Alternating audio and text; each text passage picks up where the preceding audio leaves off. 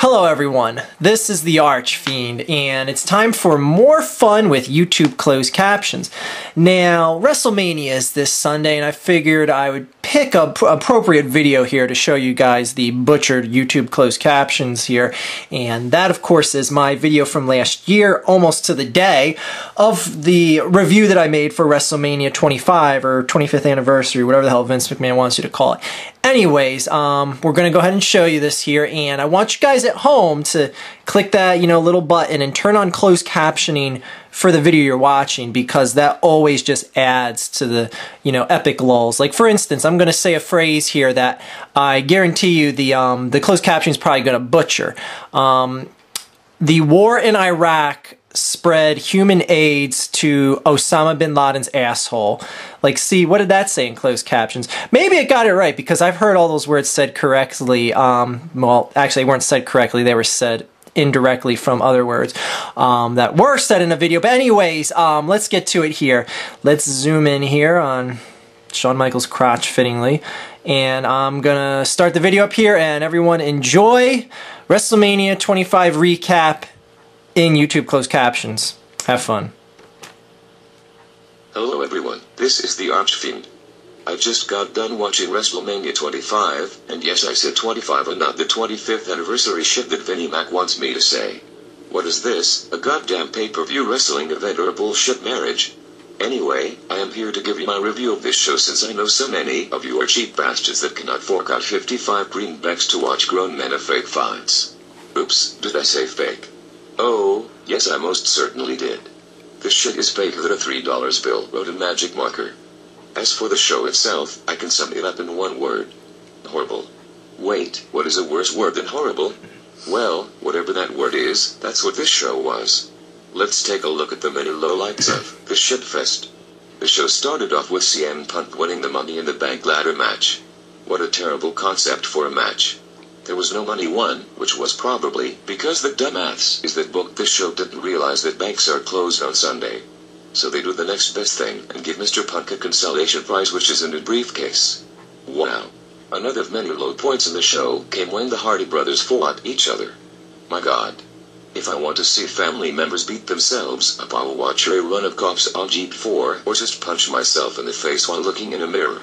I give their match a 1 out of a million stars rating. Next up we have JBL versus Heath Ledger. I mean, Rey Mysterio. Why was Rey dressed up as a dead actor anyway? Does he think he is a dead man himself? No, you aren't. The Undertaker already has the gimmick you pint-sized shit stain. As for their match, Big Man Boots Guy lost to Little Mexican Man in about 30 seconds. The length of the match was the only redeeming point. Speaking of the dead man, that brings me to the lowest of low points in the entire show. The Undertaker vs. Shawn Michaels match was one of the worst matches in the history of modern civilization in the entire galaxy.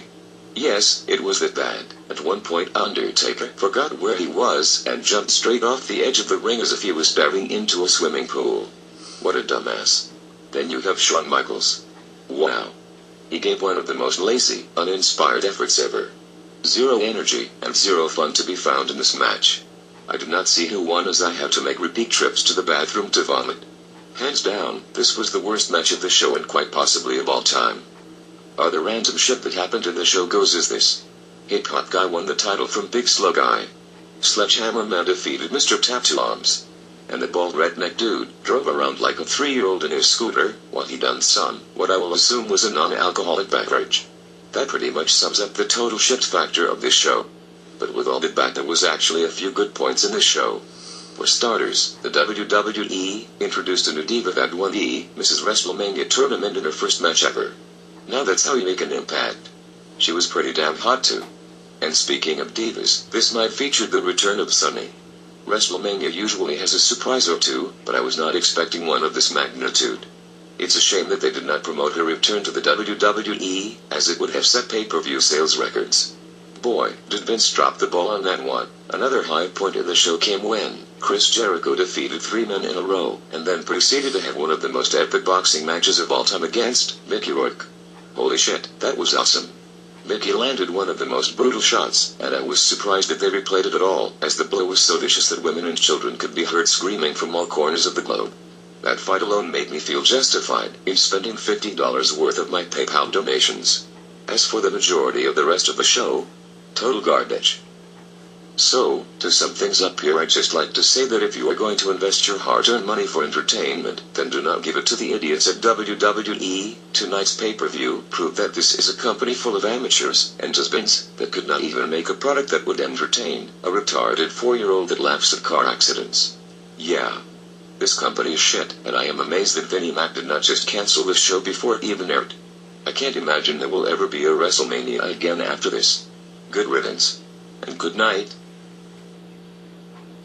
Man, I'll tell you, YouTube never lets me down. But as I said in the video, good night, everyone.